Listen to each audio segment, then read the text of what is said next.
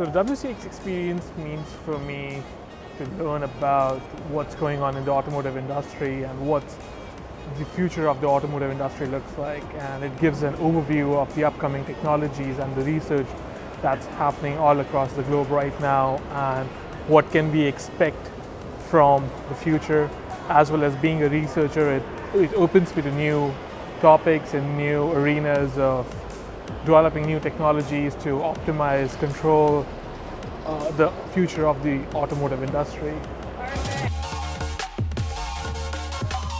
It's kind of like it will help me to understand the, the advanced technology we are facing now because um, I'm working for a battery testing lab and it's uh, really for the investigated a lot and invested a lot of money in that too. So, and as you know, there is another speech the Iron Park um, directors will give there this afternoon. So, yeah, I it definitely will help me improve my own knowledge for sure.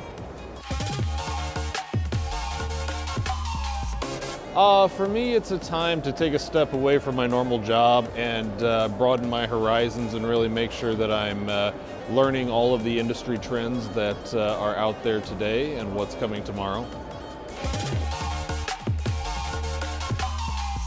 But WCX provides a good platform for you to just be here and listen to a lot of researchers talk about their work. Not and it's and it's interesting to see that it's not just automotive that you're looking at. You're looking at automotive applications for sure, but the diversity that it com brings with them, the different people working on very different things coming together to show their work towards a certain streamlined uh, focus is so interesting and it's so exciting to see how, what is the application of things that are that are that are being shown here.